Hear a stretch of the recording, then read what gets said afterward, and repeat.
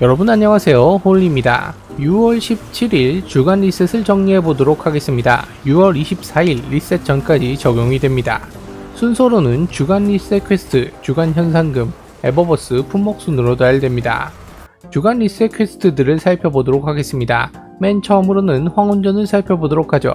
통찰의 종착지, 생소한 지형, 텅 빈 본거지로 구성되어 있습니다. 통찰의 종착지에서는 긴작별 저격 소총을 얻을 수 있고 생소한 지형에서는 브레이테크 물수리 로켓 발사기를 얻는 게 가능하며 텅 빈 본거지에선 정신 왜곡자의 야망 산탄총을 얻을 수 있습니다. 황혼전 시련은 사바툰의 노래로 마스터 난이도 조정 옵션으로는 순교자, 용사 저지불가, 용사 보호막, 유대감, 장비 잠김, 색깔 맞추기, 용사 무리, 사바툰의 만가로 구성되어 있습니다. 이 황혼전에서는 의무감, 자동소총을 얻을 수 있습니다. 그리고 황혼전 실현 그랜드마스터 난이도는 7월 22일부터 시작됩니다.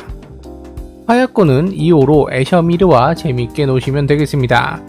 주간 영웅바라는 공허바라입니다. 모든 영웅모드에 공허바라가 붙고 나머지 조정 옵션 2개는 1일 로테이션입니다. 물론 전시장 영웅과 같이 다른 바라가 붙는 것도 있습니다. 전시장 영웅의 조정 옵션은 전멸, 강철, 정전, 공허바라입니다. 보스로는 백스인 칼로스의 충신 하사피코입니다. 속삭임 던전과 개시시간 두 가지는 전기 바라입니다. 리바이어던의 순서는 웅덩이, 유람지, 건틀렛, 성배 순으로 챌린지는 유람지입니다. 행성 포식자와 별이탑 고급은 검투사, 그리고 무기의 다리는 물리는 보조무기, 에너지는 정찰 소총, 파워는 검입니다. 구원의 정원 챌린지는 처음 소환되는 사이클롭스를 제외한 나중에 소환되는 사이클롭스를 파괴하지 않고 클리어해야 하는 1페이지 챌린지 잔재입니다. 확대 프로토콜의 보스는 솔의 문장 누르 아바스이며 보스의 근처에 부하들이 있으면 면역 방어막을 생성합니다.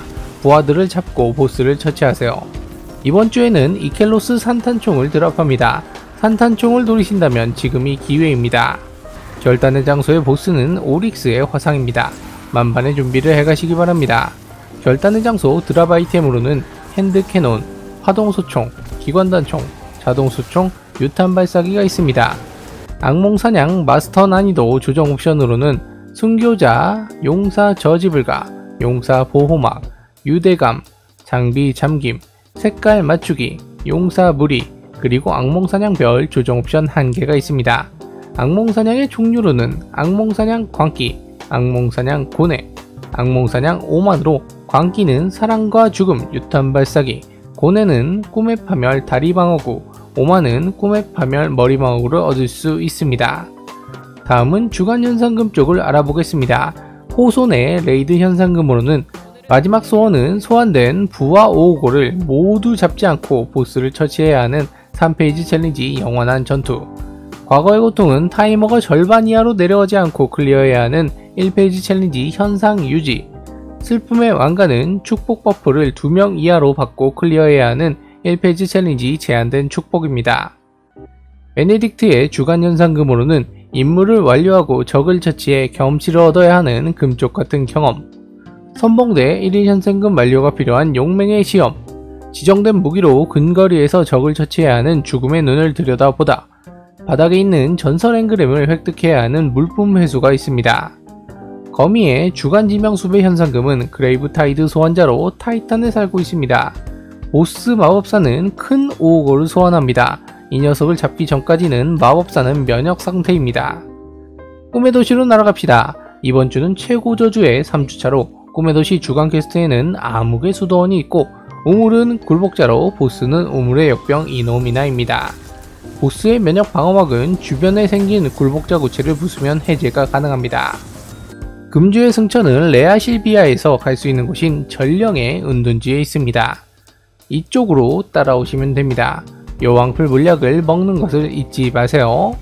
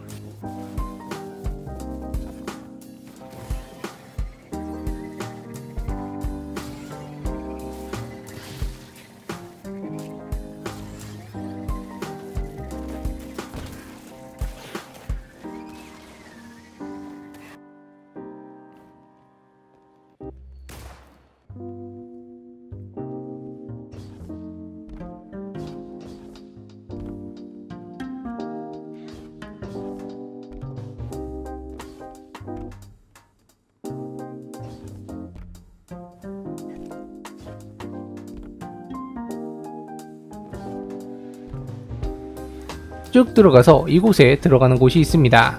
승천 차원에 들어가면 떨어지지 않게 발판을 이동해서 중앙으로 가봅시다. 적들이 있고 첫 번째로 모두 처치하면 중앙에 검을 잡을 수 있게 됩니다. 검을 잡으면 기사들이 깨어나며 이 기사들을 모두 처치하면 톨란드가 가운데 나타납니다. 톨란드가 유인한 곳 멀리에 내가 가야 하는 발판이 보이며 꼭 칼을 가지고 낙사하지 않게 조심해서 목적지에 도착하셔야 합니다. 이쪽에서 이동할 때는 운석이 이동을 방해하니 꼭 주의하셔야 합니다. 목적지에 도착하면 앞쪽에 상자가 스폰되며 이 상자를 먹으면 완료가 됩니다. 마지막으로 에버버스 품목입니다. 이번 주 실버 판매 품목들을 확인해 봅시다.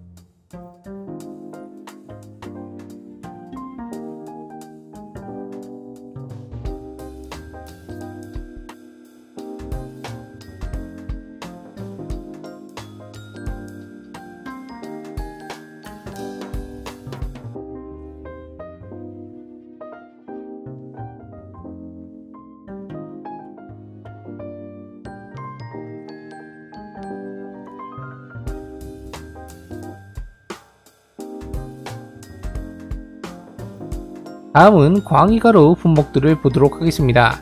분노의 주먹 필살기. 칼립소 참새.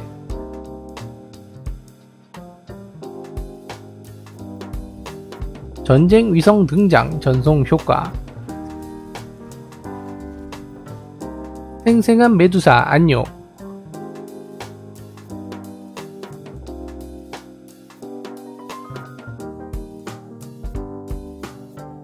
거울아 거울아 감정 표현.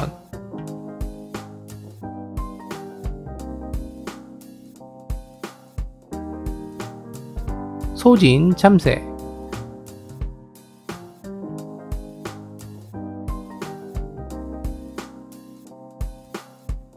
권투 선수의 춤 감정 표현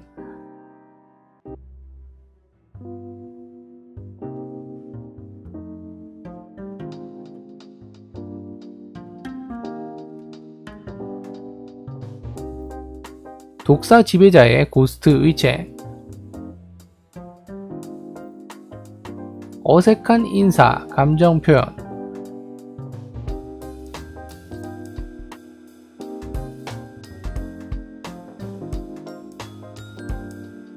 트랙터 대포에 장착이 가능한 심연의 비명 무기 장식. 추방자의 두건 고스트 투영 청셋 구분선 안료.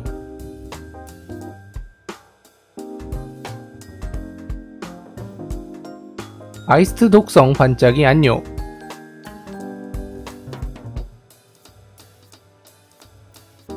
변색된 구리 안료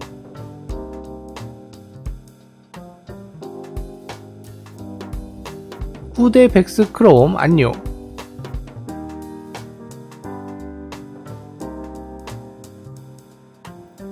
모두의 본보기 전송 효과